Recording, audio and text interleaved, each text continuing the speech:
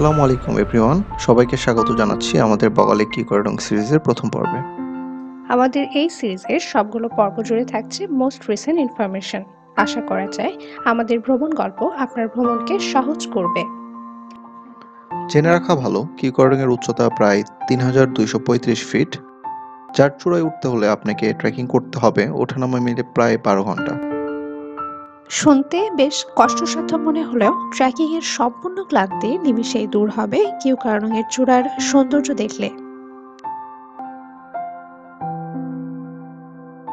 এই ভ্রমণ সিরিজের আরেকটি মূল আকর্ষণ বগালে।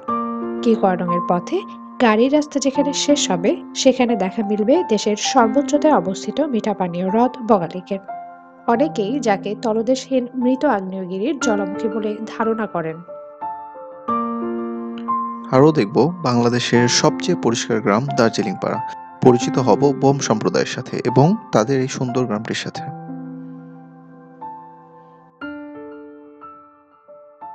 তো চলুন শুরু করা যাক।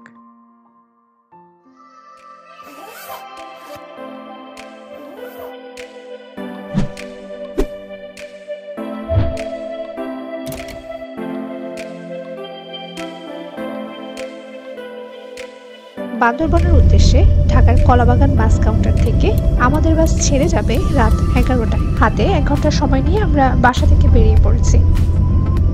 ঢাকা টু বান্দরবন রোডে বেশ কিছু বাস চলাচল করে। তার মধ্যে অন্যতম দেশ ট্রাভেলস, শ্যামলী, হানিফ, সাউদিয়া এবং সেন্ট মার্টিন পরিবহন। নন এসিতে ভাড়া পড়বে ছয়শো বিশ থেকে সাতশো টাকা এবং এসিতে চোদ্দোশো টাকা।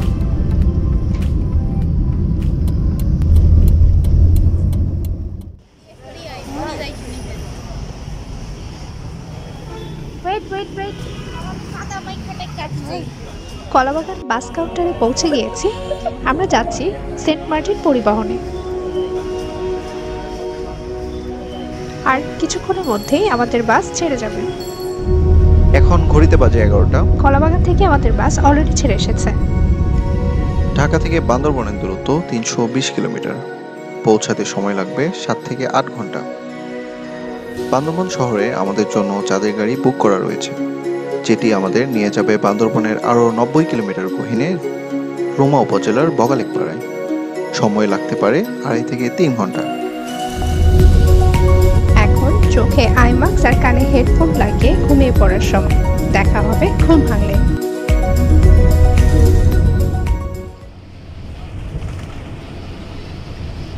Good morning.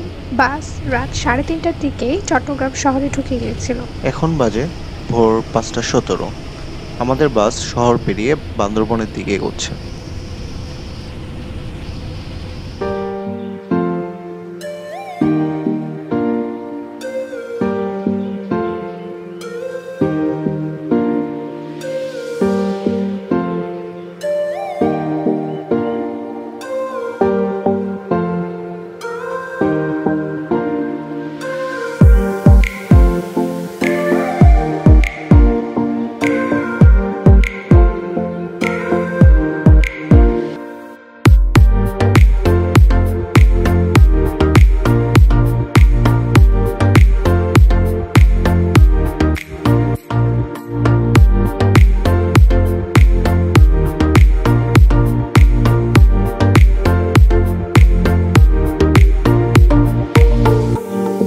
ঘড়িতে সময় সাতটা পনেরো।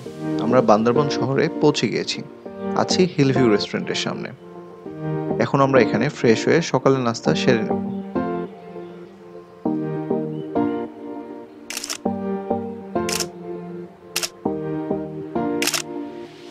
আমাদের নাস্তা করা প্রায় শেষ। গেটে চাঁদের গাড়ি অপেক্ষা করছে। বান্দরবন থেকে সরাসরি বগালিক যাওয়া এবং আসার জন্য চাঁদের গাড়ি রিজার্ভ নিলে ভাড়া পড়বে এগারো হাজার থেকে বারো হাজার টাকা। আর যদি আপনি লোকালভাবে যেতে চান তাহলে একশো দশ টাকা বাস ভাড়ায় প্রথমে বান্দরবন শহর থেকে রুমাবাজার পর্যন্ত তারপর রুমাবাজার থেকে বগালেক পর্যন্ত চাঁদের গাড়ি রিজার্ভ নিন চুয়াল্লিশশো টাকায়। এছাড়া একশো টাকা ভাড়ায় রুমাবাজার থেকে লোকাল চাঁদের গাড়ি অথবা চারশো থেকে পাঁচশো টাকা ভাড়ায় বাইকও পেয়ে যাবেন বগালেক পর্যন্ত। তবে মনে রাখবেন লোকালভাবে যাওয়াটা ট্যুরিস্টের জন্য বেশ কষ্টদায়ক এবং সময় সাপেক্ষ।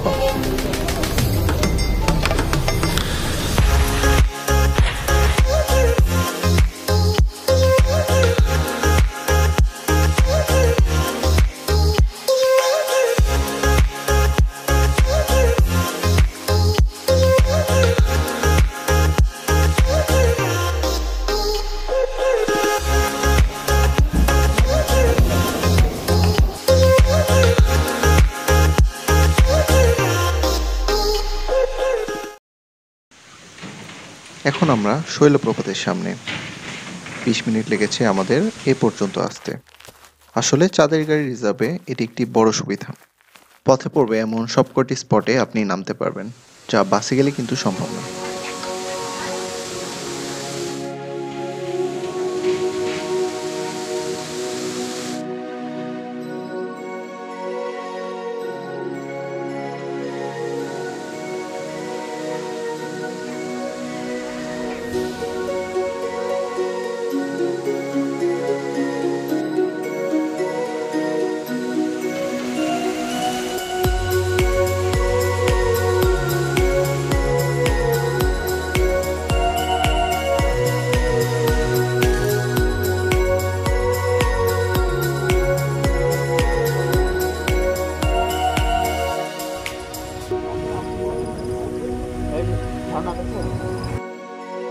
শৈলপ্রপাত পেরিয়ে আর দশ মিনিট এগোলেই পাবেন মিলন মিলনছড়ি।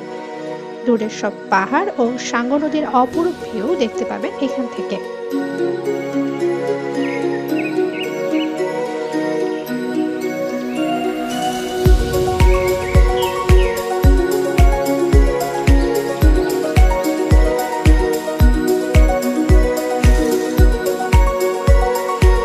মিলনছড়ি পেরিয়ে আমাদের গাড়ি ছুটে চলেছে পাহাড়ি আঁকাবাক্কা রাস্তা দিয়ে। রাস্তার দুপাশে কখনো অন্ধকারবিহীন জঙ্গল, কখনো বা হাজার ফিট উচ্চতার খাড়া ঢাল, কখনো লোহার ব্রিজ, আবার কখনো পাহাড় থেকে গড়িয়ে পড়া লাল মাটির স্তূপ। আসলে যারা পাহাড়ের গহীনে চাঁদের গাড়ি ভ্রমণ করেছেন, তারাই একমাত্র জানেন এটি কতটা রোমাঞ্চকর। যতই উপরে উঠছি। রোদেলা নীল আকাশ কখনো কালো মেঘ হয়ে নামাচ্ছে ঝুম বৃষ্টি। আবার কখনো সরাসরি মেঘই ঠান্ডা বাতাস হয়ে ধরা দিচ্ছে আমাদের হাতে। দু চোখে দেখা প্রকৃতির এই অপরূপ সৌন্দর্য ক্যামেরায় বোঝানো সত্যিই সম্ভব না।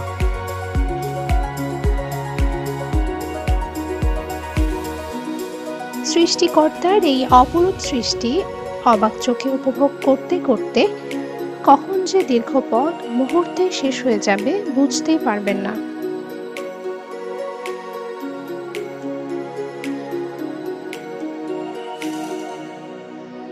আর কিছু দূর গেলেই ওয়াই জংশন আর্মি ক্যাম্প।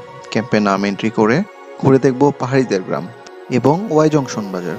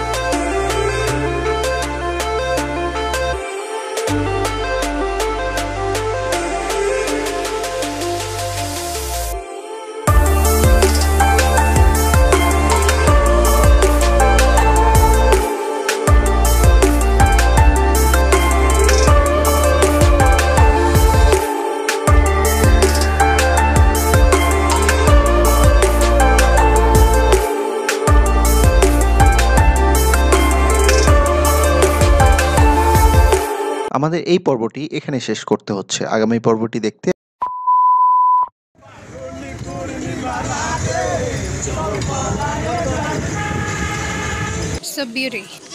এই ছাগলটাকে কোথায়?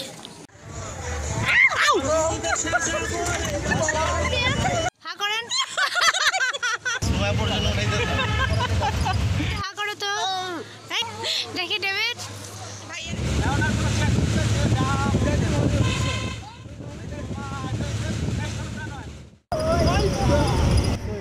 Yes, শ্যামবনতি। আলহামদুলিল্লাহ আগামী পর্বটি দেখতে আমাদের ইউটিউব চ্যানেলটি সাবস্ক্রাইব করুন এবং আপনাদের মূল্যবান মতামত কমেন্ট সেকশনে জানান।